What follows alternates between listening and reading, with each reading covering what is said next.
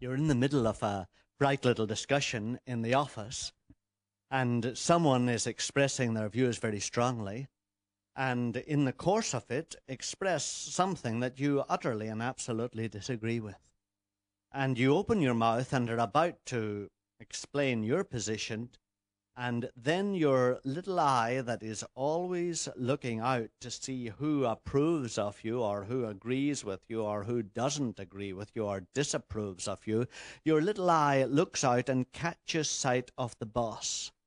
And suddenly you realize that he agrees completely with the last speaker.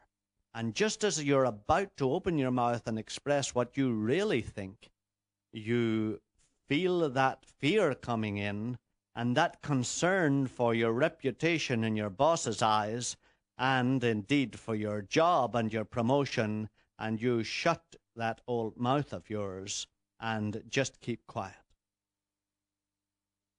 And maybe you do that a number of times, and you try each time to rationalize, well, I'm just watching my P's and Q's. I'm just making sure that I am not imprudent or stupid in regard to my professional advancement. But deep down in your heart, you realize that that often works in your personality. Just exactly that way. You're often about to express and explain what you really do think about something, but your little eye seems as if it has a natural twist in it, it seems as if there is a connection between your eye and your heart and your mind at moments like that, and that you automatically look out to see who is going to agree with you and who's going to disagree. And in the light of that, you determine whether you're going to explain what you really think or whether you're going to shut your mouth and pretend that you think differently.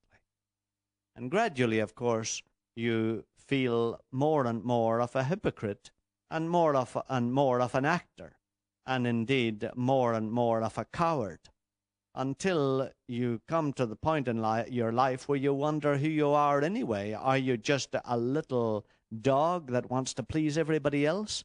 Are you just a little puppet that is pulled by the strings that everybody else operates? Or are you a man or a woman at all? And of course, the situation is even more pitiful and desperate when you determine, I am going to speak my mind. Whatever it costs me, I'm going to speak my mind. And you start trying to do just that very thing. And those moments come when you feel you should say what you really think and lo and behold, it seems as if you are paralyzed. Your personality has become you so used to looking out to see who agrees with you and who disagrees, or to see what effect this is going to have, or what possible ill consequences it could have for your professional career, that you find it impossible virtually to express what you really feel and what you really believe. And so many of us become robots that are governed by our environment we find that our personalities have got into certain ruts that we cannot seem able to change. And it's at that moment that we wish that we could be changed completely. It's at moments like that that we say to ourselves, I wish I wasn't the kind of person I am. I wish I were different. I wish I could start life over again. I wish I could be changed completely and could be like so and so, or could speak out like that person or this person. I wish I were different. And it's at that moment that we just wish that a miracle would take place that would change us completely. And what we have been sharing, of course, in this program is that in fact that has taken place. And your wish for a complete change of personality occurs in you because that very event has occurred. The truth is that the person who made you, and there is a creator who has made you, that's why you have such an amazing mind and such incredible photographic capabilities in your eyes as you possess. That's why you have so many abilities that a computer doesn't have in your thinking and reasoning abilities.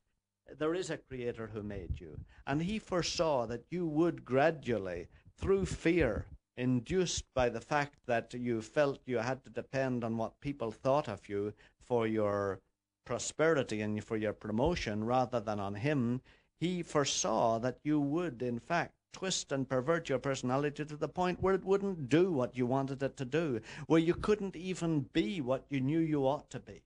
And he foresaw that. He foresaw that before he ever put you on this earth.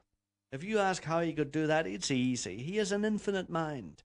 He doesn't tie himself to future and present and past. He sees all of time as one great present moment.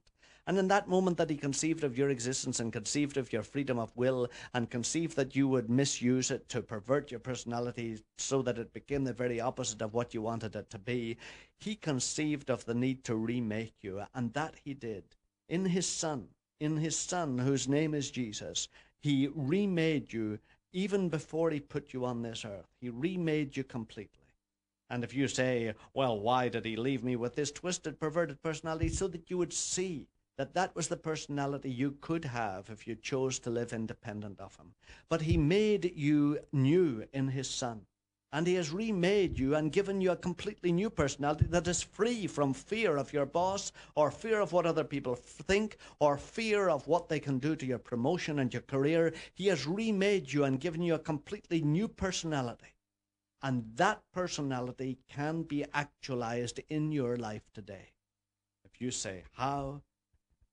Through a miraculous dynamic power he has put into the world. It's the power that makes the sunset as beautiful as it is. It's the power that makes the lake as peaceful and calm and serene as it is. It's the power that links our eyesight with the objects that we see.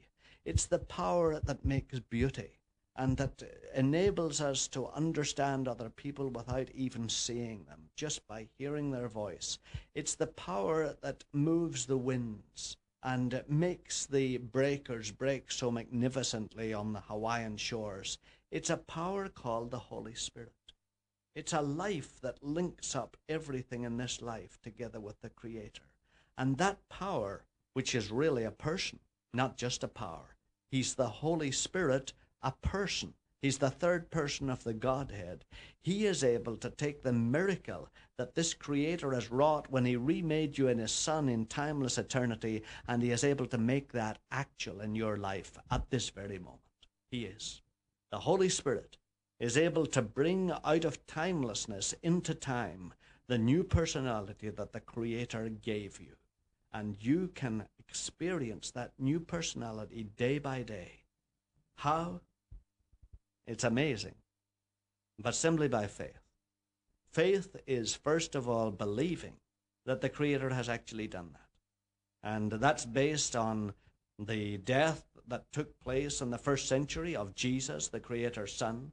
And it's based on a verse in that old book called the Bible, which is Romans 6 and verse 6. If you ever want to look it up, it's the book of Romans in the New Testament, and it's chapter 6 and verse 6. And it says, We know that our old self, that old self that is scared of your boss, that is scared of what other people think of you, that keeps your mouth closed when you want to speak out and say what you really believe, that old self was crucified with Christ. That's what the verse says. Our old self was crucified with Christ. Crucified not only in the first century, but in timeless eternity before that, because the Lamb was slain from before the foundation of the world and the Holy Spirit is able to bring that miracle out of cosmic eternity and timelessness and make it real in your life this very moment. If you simply have faith, that is, if you believe that God has done that. And secondly, if you begin to respect this Holy Spirit and listen to Him and obey Him and trust the intuitive impulses that He puts within you and speak out when He tells you to irrespective of what the consequences will be, trusting that He will take care of them. If you begin to respect this Holy Spirit and begin to let Him constrain the act- actions of your life instead of letting other people and their opinions constrain the actions of your life, if you are ready to govern your behavior by Him and His directions instead of by the constraints and the compulsions that come upon you from your fear of what other people think of you, then this Holy Spirit will bring this new personality into you and will create you completely anew and enable you to live a life that is free from self and free from fears about self esteem. You can do that this very moment. Let's talk a little more tomorrow about